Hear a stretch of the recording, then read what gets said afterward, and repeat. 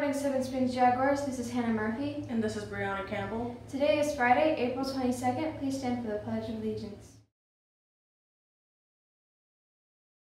I pledge allegiance to the flag of the United States of America and to the republic for which it stands, one nation, under God, indivisible, with liberty and justice for all.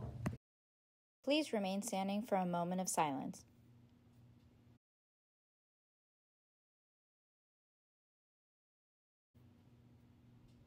You may now be seated. Today's lunch options are PB&J sandwich, chicken taco salad, garlic French bread pizza, or cheese or pepperoni pizza.